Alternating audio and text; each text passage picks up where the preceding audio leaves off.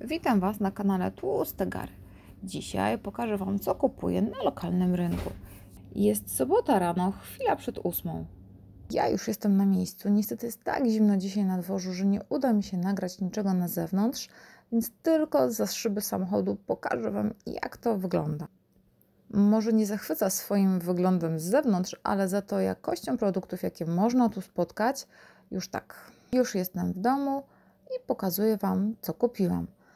Oczywiście jajka. U mnie są to dwie paletki jajek, czyli łącznie 60 sztuk. Myślę, że na około tydzień wystarczy. Do tego śmietana. Ta jest kwaśna. Obok też oczywiście śmietanka słodka do deserów.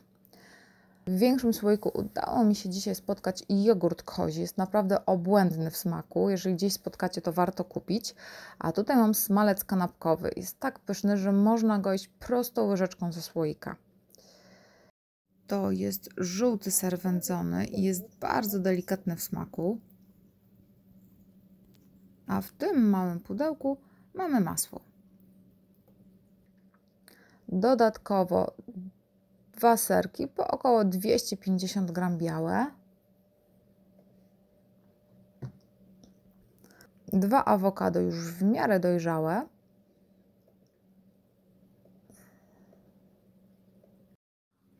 Tutaj w torebce kryje się młoda kura rosołowa. W dalszej części filmu pokażę Wam, jak przygotowuję taki rosół skóry, a następnie makaron do takiego rosołu, oczywiście w wersji ketogenicznej. Nie mogło też zabraknąć oczywiście wątróbki kurzej.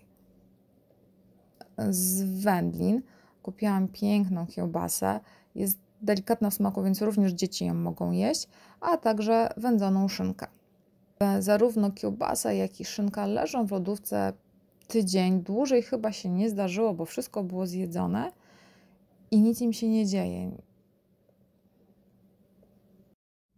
A teraz przechodzimy do robienia rosołu. Moja kura jest już w garnku razem z włoszczyzną i przyprawami. Całość gotuję około 2-3 godzin. Gdy rosół jest już gotowy, przystępujemy do robienia makaronu. Do niewielkiej miseczki wbijamy całe jajo, wlewamy około 2 łyżek roztopionego masła oraz dodajemy łyżkę serka mascarpone albo serka śmietankowego. Całość dokładnie blendujemy, a następnie na rozgrzanej patelni smażymy w formie naleśnika. Jak widzicie, naleśnika bardzo łatwo się smaży i przewraca na drugą stronę. Następnie nasz naleśnik zwijamy w rulonik i kroimy jak najcieniej. Tak powstaje nasz makaron.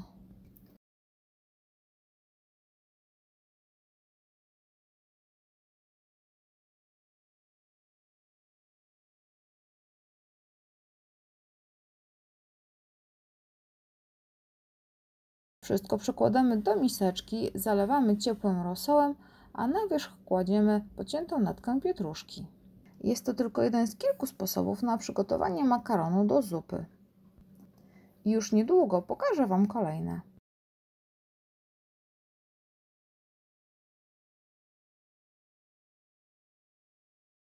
Ja ugotowany rosół przelewam do słoików i w ciągu dwóch, no maksymalnie trzech dni jest już cały zużyty.